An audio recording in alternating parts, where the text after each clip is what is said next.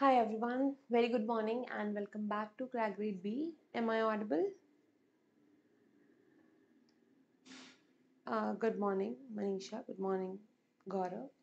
So today we are going to start with the government schemes of Ministry of Women and Child Development, right? So we are going to see various components under this but understand that uh, for the purpose of ease of implementation these schemes have been segregated into three most basic parts. So we are going to cover that right? And you will uh, witness that again whatever we have read in different kind of government schemes those same concepts apply over here also. You have to keep uh, thinking about the organization structure who is the head of any particular organization structure what are the contributory mechanism? Is it is a centrally sponsored scheme or central sector scheme? So these will all be the important points to discussion. Apart from that a few of the initiatives that has been taken at uh, different different components those initiatives are also very important. Like you have to remember what is the purpose of those initiatives? Fine. So let's start and talk about this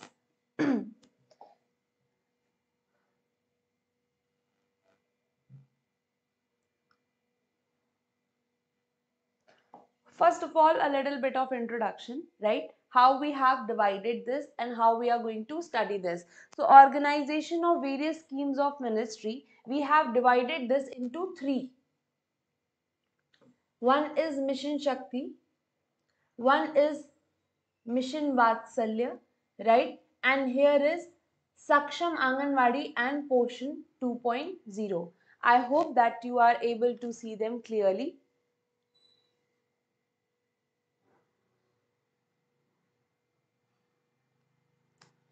My name is mentioned on the thumbnail, so you can see there. See over here, there are three ministry related components we have divided it. Now, what will happen by doing this is there is a ease. What kind of ease we are having over here? Ease of implementation.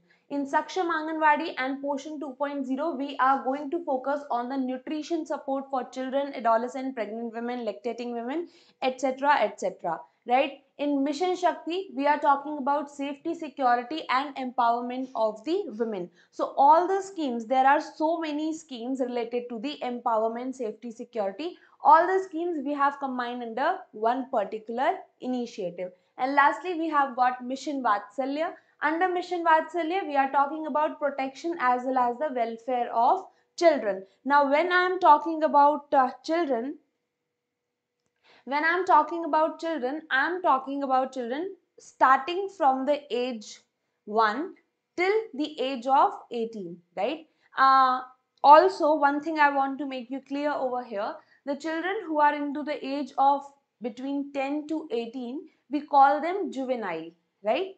We call them juvenile in the legal languages.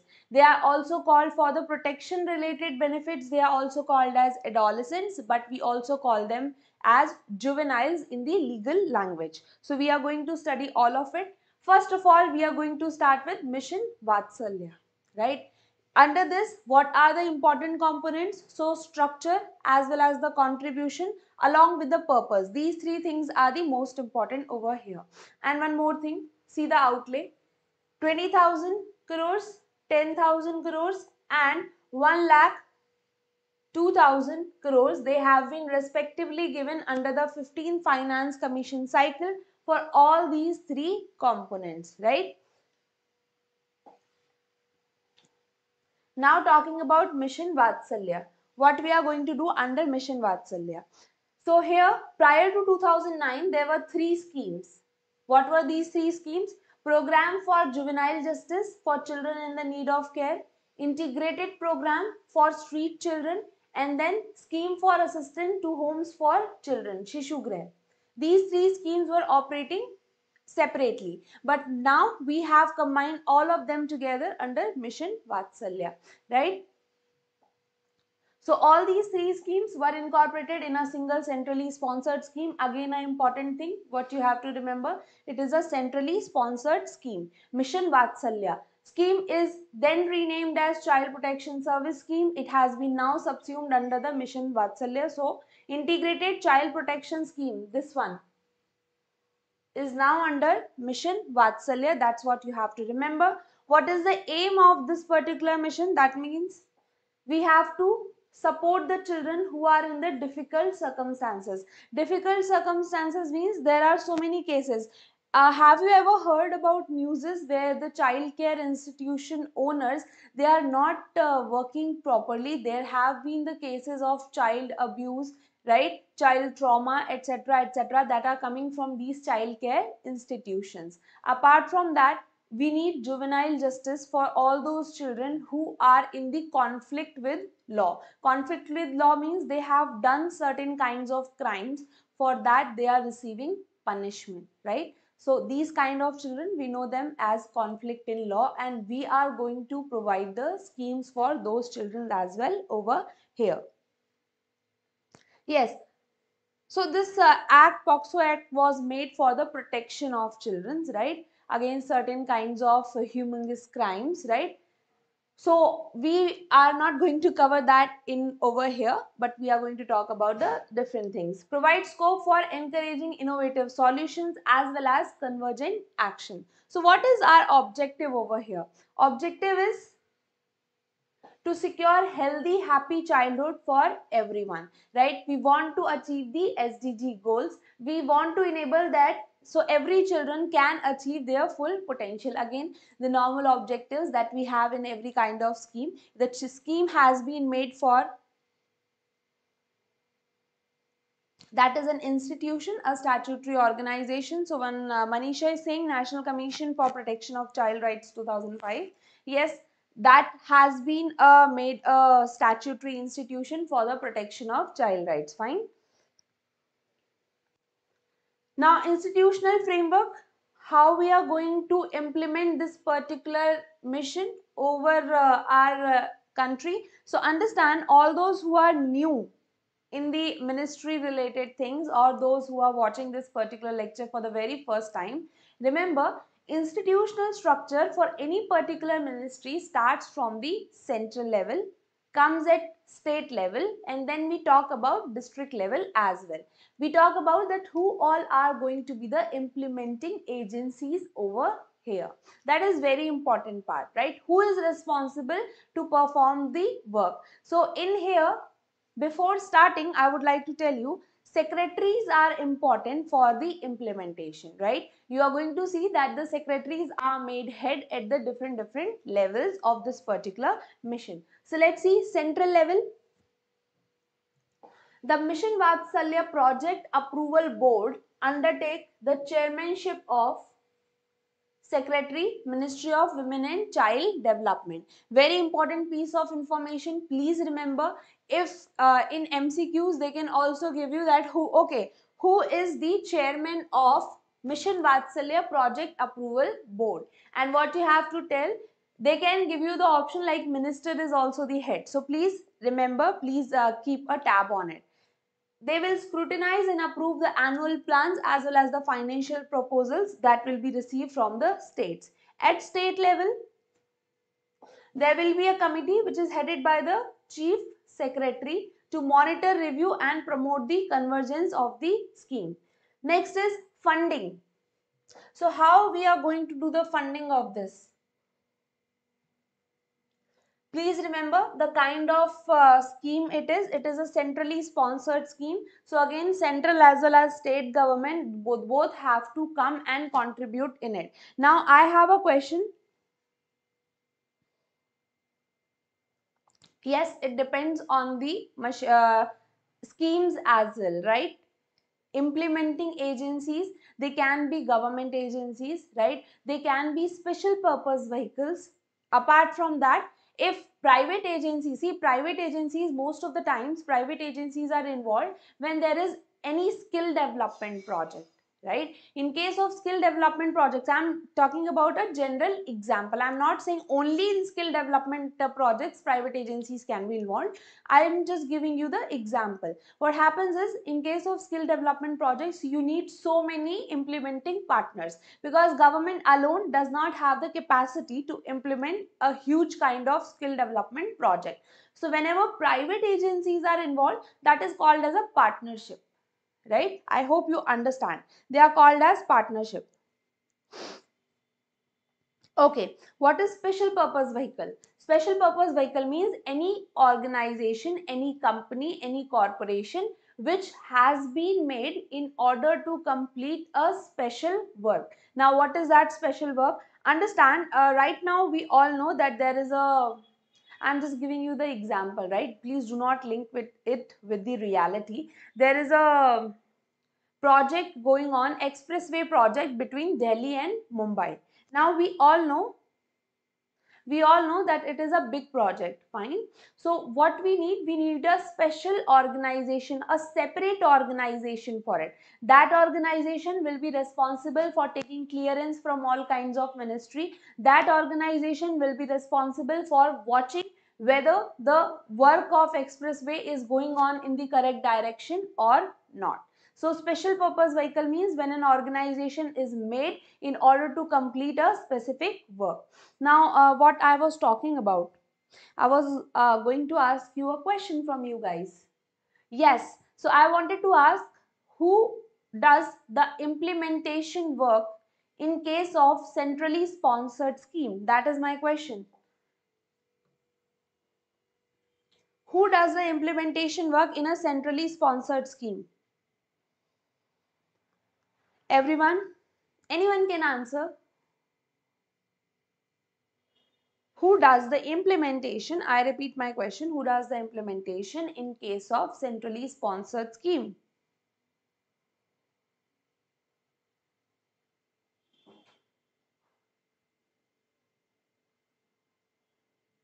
Good. Bharat, it is state government. Fine. So now see over here, what is the fund sharing pattern that we are having? It is 60 to 40. In case of central and state in the ratio of 90s to 10 for which kind of states? For our seven sisters state along with the two Himalayan states, Himachal Pradesh as well as Uttarakhand, UT of Jammu and Kashmir. Apart from that, four union territories without which are without legislature, it is going to be a 100% central share. Next is State Child Protection Society. Now, it is established under the Juvenile Justice Act 2015 that shall ensure the implementation of mapping of Mission Vatsalya scheme. How does the planning will happen? So what you have to remember, state child protection societies, they are established. This particular act, it has a component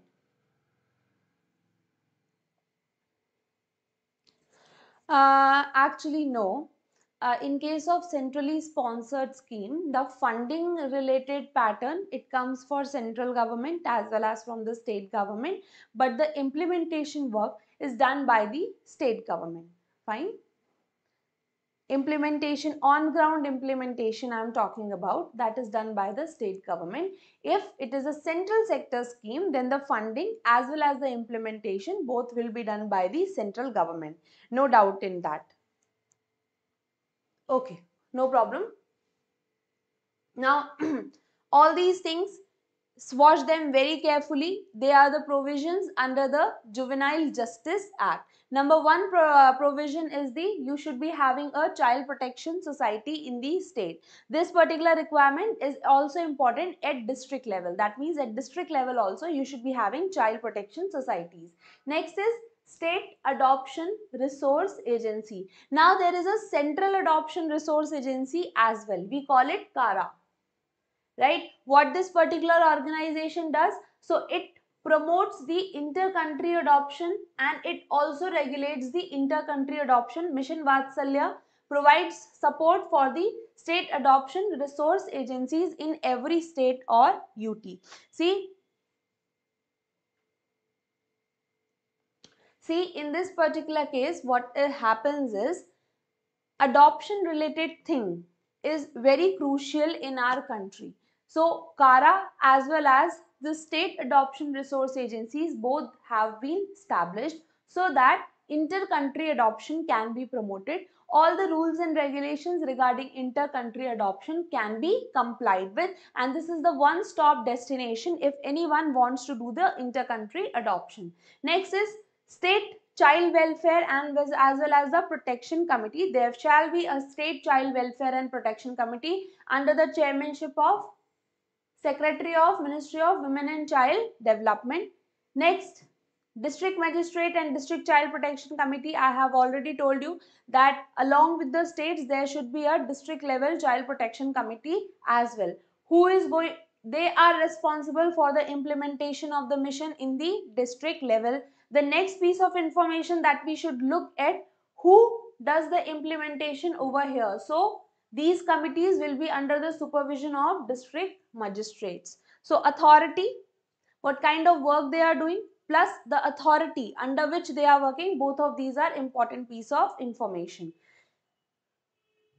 Now, this thing we have already read, the district magistrate is going to chair these particular committees in every district. They are also going to hold quarterly review meetings of the committees. Now talking about the Juvenile Justice Board.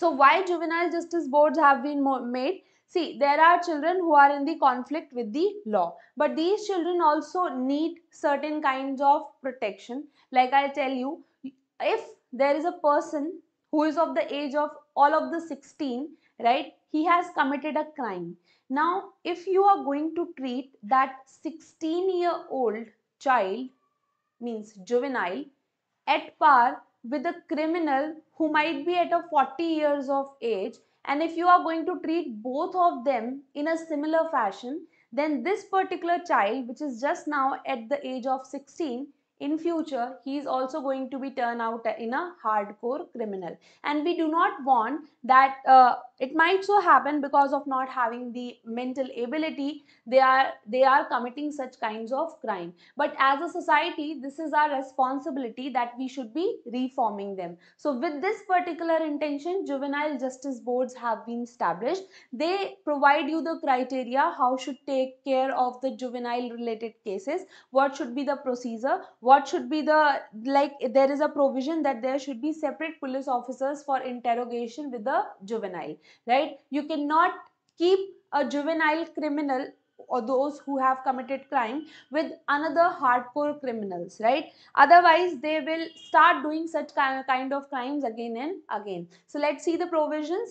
The juvenile justice act 2015 it has made mandatory to establish at least one juvenile justice board in each district. A very important piece of information have been asked in MCQs earlier as well. So Act says that there should be one justice board in each district. I'm not saying state, I'm saying district. So this is very important. This is where we tend to get confused. Now next is the composition as well as the functioning of this will be in accordance with the Act. Mission Vatsalya is going to provide infrastructure as well as the financial support to the state and UTs for facilitating this particular board in every district. Now there are child welfare committees as well. So it Act says that there should be at least one child welfare committee in each district. So remember this thing, Juvenile Justice Act, it wants to establish the infrastructure in each of the district of the state, right? Composition shall be in accordance with the Juvenile Justice Act. How does it mention? The Mission Vatsalya shall provide infrastructure as well as the financial support. So this is the role of Mission Vatsalya. Now, the next thing which I was talking about, there will be a special juvenile police unit because see, the methods of interrogation with a juvenile should be different from the methods of interrogation which you might be having any other adult criminal. Because the person is able to reform you can reform that person. So your treatment should also be like that. So this is the provision. In every district there will be special juvenile police unit. Now, talking about the structure of the child welfare as well as protection committees at the local stage, right? We have already talked till district level, but these are the structure at the local level. That means if you are a, if there is a rural area, then obviously Panchayati Raj institution related structure will be implemented. How? Jila Parishad committees, block level committees, they are going to deal with the welfare of women and children and Gram Panchayats also. At the urban local body, we have given the responsibility to standing committee of municipal level, ward level committee of the municipalities so that they should be dealing with the women and child welfare. Easy one. Now next thing which is important is Mission Vatsalya portal. Remember this, this portal is going to provide a digital platform related to various MIS children in difficult circumstances which includes missing children, abandoned children as well as the surrendered children. You are going to provide a whole digital data. So what you have to remember under this is if in an examination question comes that okay what is the purpose of mission vatsalya portal so you should be remembering it that it is a data source it collects all the data it displays all the data related to the child who are in the difficult circumstances. We are not talking about women in difficult circumstances. We are having a separate component for that. Can you tell me what component is that? At the start of uh, the lecture we have discussed that. Can you tell me what is the component for the women in difficult circumstances? Anyone? Anyone?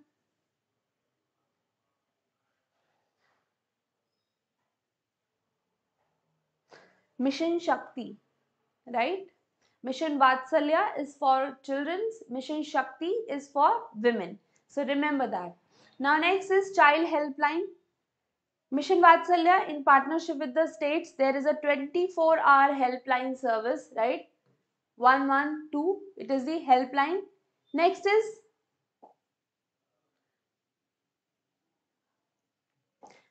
children under PM Cares for Children scheme. Now we are going to provide a funding as well out of PM Cares. The for non-institutional care financial support at the rate of 4000 per month per child shall be provided to the child right this is the provision. And if the child is in institutional care institutional care means it is under any particular child protection committee or any other child care institution in that particular case the grant will be provided 3000 rupees per month. Can you remember this pm cares fund? Any kind of information that you might be having about pm cares fund? When was it established? Anyone?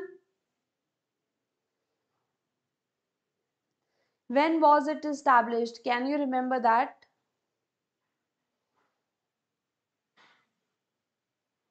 Yes. Good. Pandemic 2020, right? So it is an executive uh, developed fund, right? developed by executives and this can be taken uh, into use for different different purposes. So right now we are taking it into use for this particular purpose. We are going to provide the funding to the children who are in the need. Now next institutional services. There are child care institutions. Child care institutions means they are residential care. If there is any child who's not having suppose the, who's not having parents or who's abandoned right? He's having parents but parents are not keeping uh, that child with themselves. So in that particular case these are the institutions where the child can live. They provide the residential care they provide the food related care as well. But there have been uh, so many circumstances. Have you heard the news of there was a child care institution in Muzaffarnagar if I am not wrong right? That particular child care institution was working. Even if there was a child care institution in mumbai as well and these particular institutions were are not working uh, are working without a license right? They were working without a license and there were all kinds of not good things that were happening in those particular child care institutions. So it is very important to review these working of these child care institutions time to time. So child care institutions as envisaged under Juvenile Justice Act 2015, they empower state government either by itself or in collaboration with the voluntary organization. Now, one of you were asking, right? That private uh, agencies can come up or private agencies can implement or not? Yeah. Great. So now you can see over here. For the implementation related purposes when the government needs so many uh, resources then at the time government can partnership with the private agencies as well. And over here also government can partnership with the ngos with the private agencies etc etc even state agencies they can also come and uh, give their support under for being a child care institution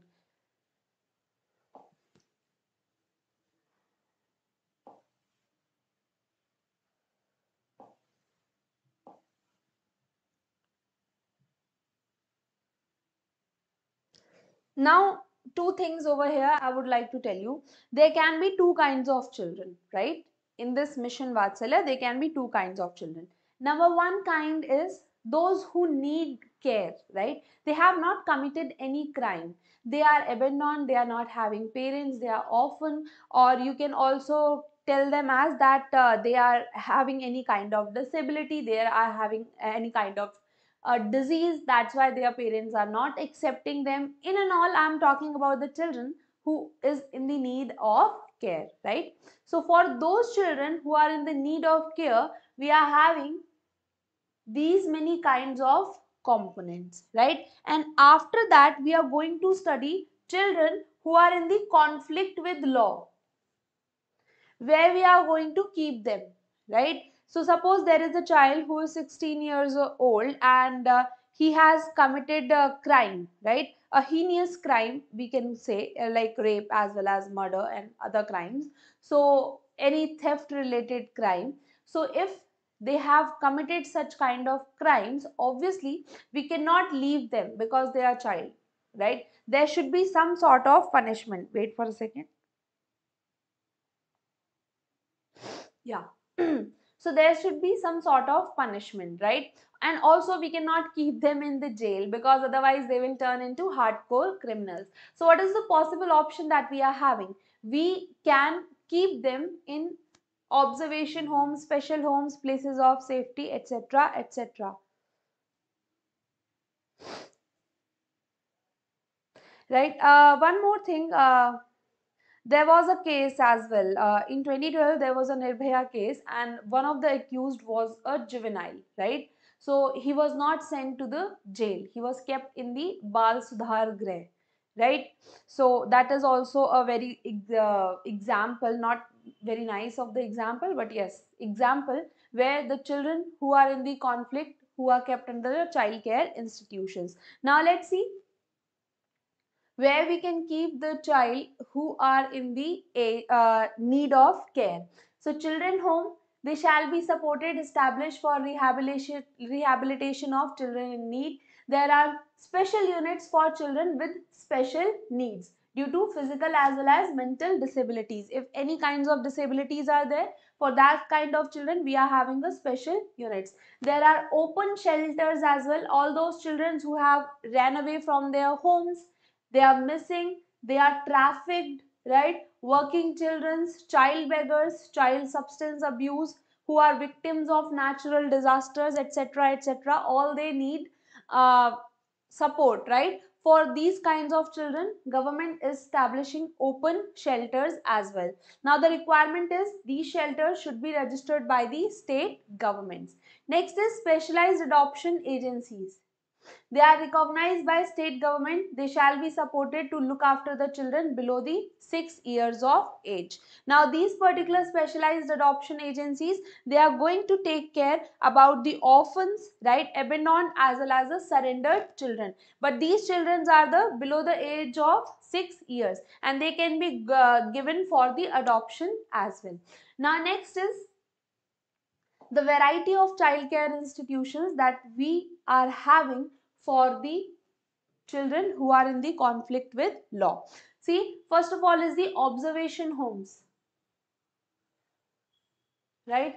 Next, special homes. They shall be established for providing long-term rehabilitation.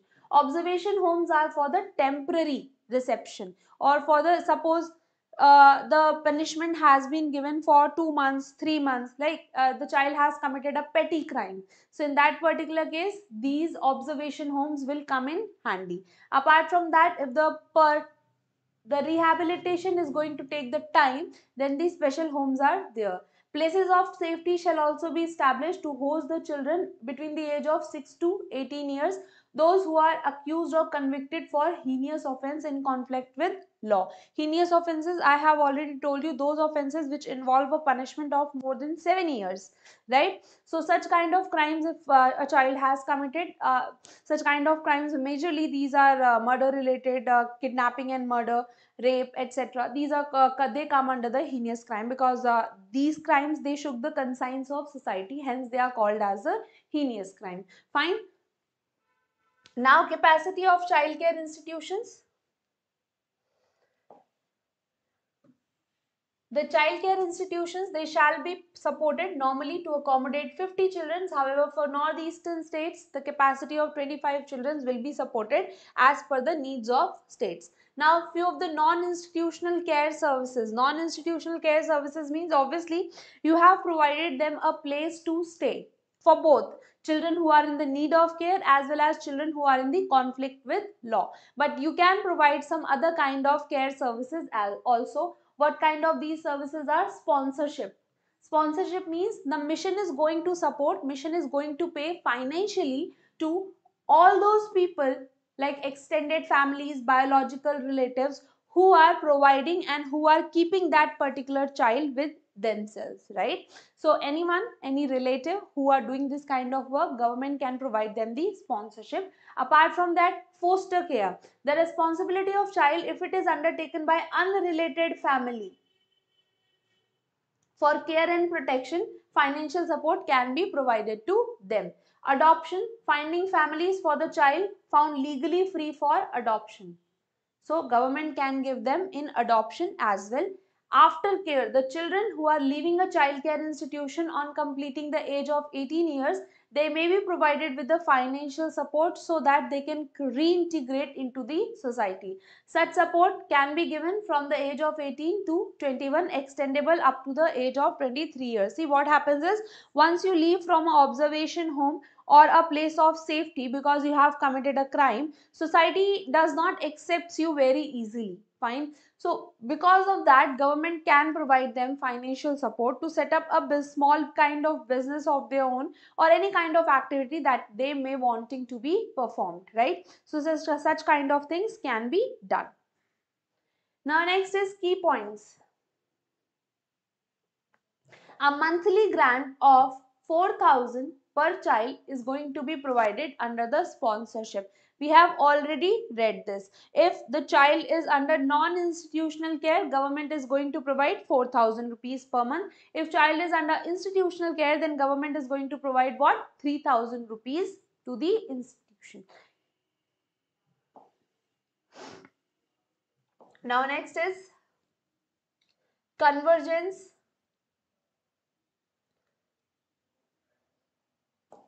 Convergence means that this scheme is going to cooperate with other schemes which are in practice as well. This is called as the convergence of the schemes. So first of all, we have got Mission Saksham, right? To harness the strength of Anganwadi at the ground level, collective baseline data as well as protection of orphan children. So where will you get the data related to orphan children or the children who are in the need? So Anganwadi workers who are there in every villages, they can identify it and they can provide the support which is needed to the child under Mission Vatsalya. Although these workers, they are working under Mission Saksham, but they can help you regarding the data collection. Next is Mission Shakti. So for advocacy regarding the gender sensitization, linkaging Shakti Sadan as well as working women hostels for those child who are leaving the child care institution after 18 years of age. Now, I have never said that the child who is committing the crime will be a male only, right?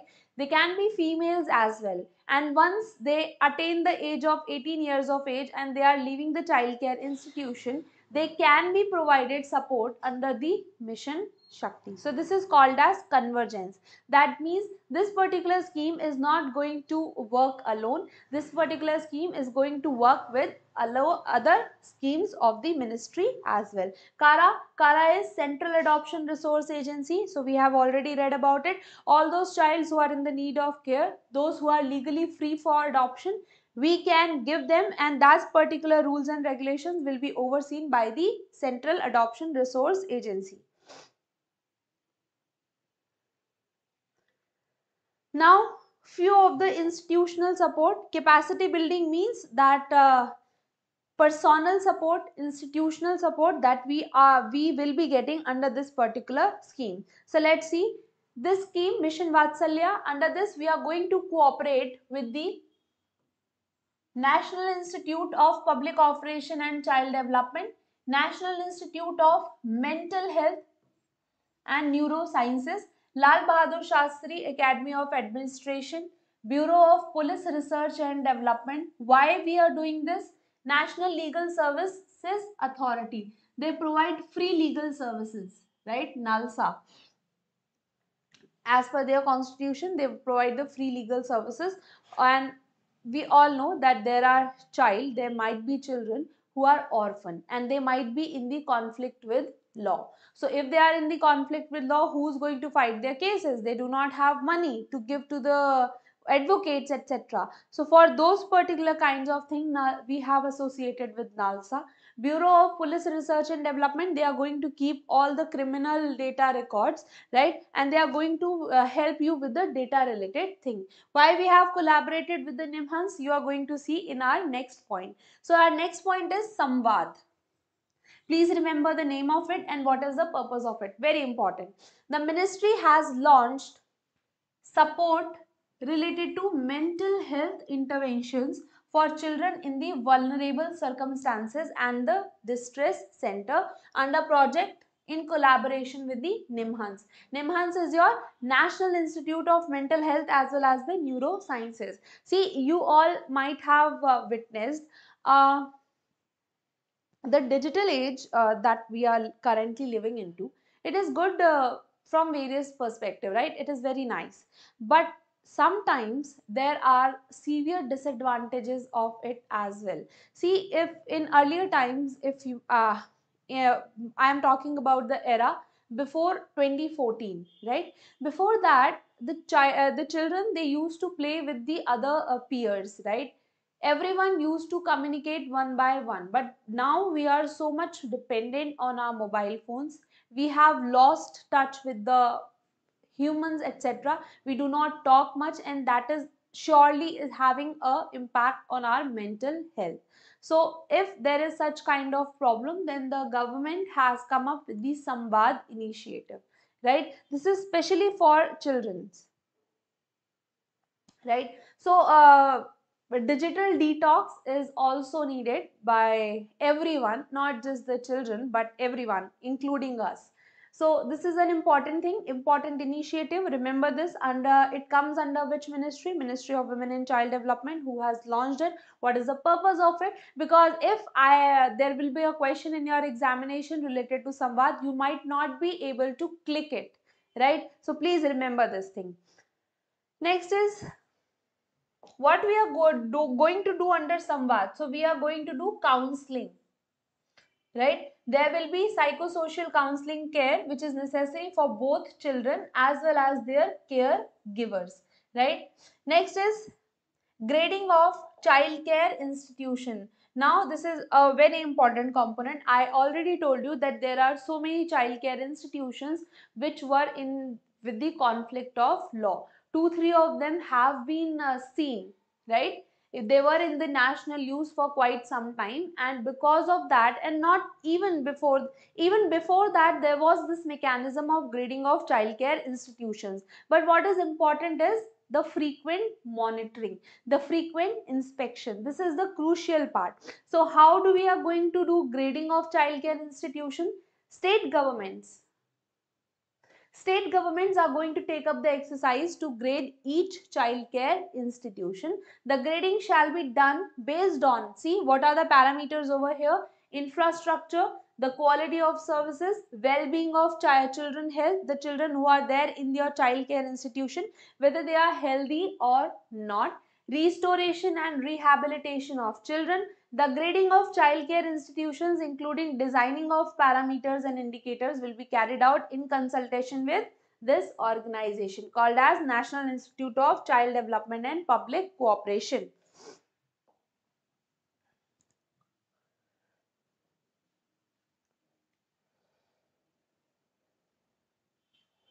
And lastly, uh, one more important point. This is, uh, you can read it on your own, not important, but this one is important. Conducting a national child survey. So a national child survey and development of child index in collaboration with Ministry of Statistics has been developed. The National Child Index, it has proposed to design and implement it in convergence, in convergence with the Ministry of Statistics right and child protection awards are also proposed so that dedication and hard work of the staff can be recognized which are providing the work related to the protection of childs. So tell me uh, whatever i have taught in the mission vatsalya is it clear to you? There are few initiatives like mission uh, your samvad initiative apart from the helpline related thing right from the child care institutions for the children who are in the conflict of law as well as those who are in the need. This is important for you to remember and the structure that who all are going to be at the central level, state level as well as the district level which acts the in the various moments we have realized that the juvenile justice act 2015 has established has mandated that child welfare society should be there in every district right? Juvenile justice board should be there in every district. So such kind of requirements also please remember along with the act. Is that clear to everyone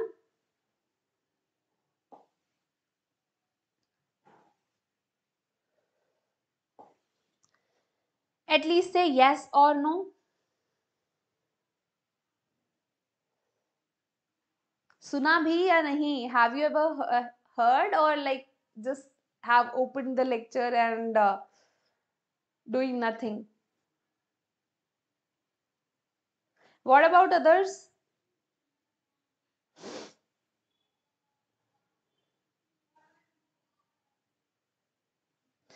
The day I'll be asking uh, MCQ questions, no? At that day I'll ask that whether you have heard or not.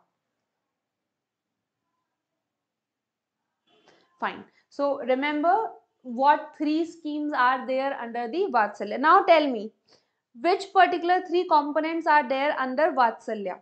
Tell me. Three components that have been submerged under Mission Vatsalya.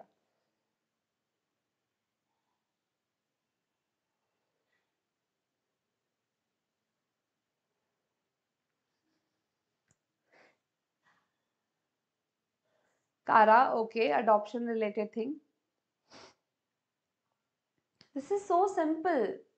All the juvenile related things you have included or the child related thing you have included, right? They are protection and welfare. Protection and welfare of child, juvenile as well as the adoption related things. These are the three things that has been combined under Mission Vatsalya. Super easy. Now talking about Mission Shakti, right? This is the second important thing that we are going to read under this particular ministry. Before that, let's read that what are the components that have been submerged under this. This is very important. See, earlier there were so many schemes like this who are who Ministry of women and child development was carrying out. Now the need was felt that we should combine them under an umbrella scheme so that there is a ease of implementation, right? So what are these particular schemes? Beti Bachao, Beti Padhao launched in 2015, all we know. Mahila Shakti Kendras, Swadhar Greh, Ujjwala. Now this Ujjwala scheme is different from the Ujjwala scheme that we see in LPG connection right this ujjwala scheme for for the women who are in the distress who need help. Working women hostels gender budgeting research publication monitoring information communication one stop center one stop center provides the helpline. It is available at all times for all the women who are in the need who are in the distress and who need assistance at the very moment so the one stop center works for them. Next is universalization of women helpline. And then there are mahila police volunteers as well. At the police station level we are having these mahila police volunteers who are who are made sensitive to the women related problems so that any women who is in the need they can come up and they can ask for help through the this particular initiative of mahila police volunteers. Now duration is during the fifth finance commission period 2021 to 2025 the norms of mission shakti will be applicable effective from the 2022 1st april 2022 now what are the objectives over here? Objectives are super easy to understand right so all these schemes we know we have made these schemes for the women who are in the need of support. Starting from first providing immediate care and support to all those women who are affected by the violence. Put in place quality mechanisms so that victims of crimes as well as violence can be rescued, protected and rehabilitated. Schemes like providing uh, the women work, working women hostels. So these kind of schemes supported. Swadhar greh swadhar greh is another place another residential care where victims uh, of uh, such kind of violences etc they are provided shelter. Accessibility of government services to the women at different levels Next is awareness related concept as well. We want to make people aware about the things like dowry, domestic violence, sexual harassment at workplace as well as the gender equality. Capacity building, training of functionaries. Sometimes what happens is that government has launched up the scheme but the implementing persons like police people etc and other district officials as well they are not very sensitive. And uh, i do not blame it on themselves. Sometimes they are very overburdened with the work but still they should be sensitive towards these particular needs. So how they are made sensitive? They are provided training regarding this. Correct? Next is collaboration with the ministries as well as departments so that empowerment can be done of women across all sectors for example ministry of child development they can uh, collaborate with the Ministry of Labor, Ministry of Skill Development, right? They can collaborate. They can ask that, okay, the victims which are there in the Swadhar Greh as well as the other uh, scheme, uh, other components, how we can provide them the skill development. So under this, this Ministry of Skill Development, Ministry of Women and Child Development, they can come and they can talk on it. Creating awareness for inducing positive behavior towards women as well as girls and to prevent gender biased sex selective elimination right to ensure survival education development of the girl child now i just uh, there's one thing which i wanted to say. See there are so many people who are preparing for uh, government examinations right? And there are so many who are studying likewise also. But uh, what uh, the one thing which I truly believe is that when we prepare for such kind of examinations, when we read such kind of schemes in detail, we truly become empathetic towards all those persons who are in the need. We understand that what is the problem in society and actual problems which exist we also know that what is the solution for themselves. So but still even after reading some people do not implement it in their lives. So that is also required at some place. We should be implementing all those which we are learning in the classes right? Truly implementing that. If uh, see obviously when you are studying education does not get wasted right? You are going to achieve whatever your dreams are but at the same time we should all try to be a better human as well That's what I wanted to say after reading this particular thing. So we are going to complete the mission Shakti tomorrow, not today. Fine. So this is it. What we wanted, uh, I wanted to discuss today, and we are going to continue tomorrow. If you did like this lecture, do not forget to hit the like button. And thank you so much for joining in.